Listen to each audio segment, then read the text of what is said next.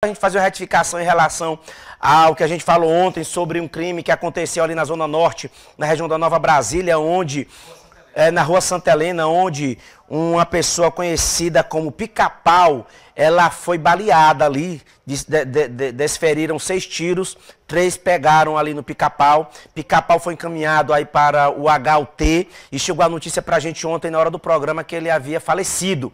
O Francisco Filho foi chegar as informações, eu também chequei com algumas pessoas e ele não morreu, gente. O Pica-Pau não morreu. Muito obrigado, viu, Jéssica? Pica-pau não morreu, está sob cuidados médicos no HUT. Entendeu? Esse aí é o pica-pau. E ele não morreu, só fazendo uma retificação é, em relação ao que nós falamos ontem. Tinha chegado para a gente que ele vinha, havia falecido, mas a informação não procede. Informação checada pelo Francisco Filho e por mim, Valbert Dourado. A gente tem que estar tá dando aqui. É, é, a resposta para o nosso telespectador, né? Informação checada. 99911 é o nosso telefone.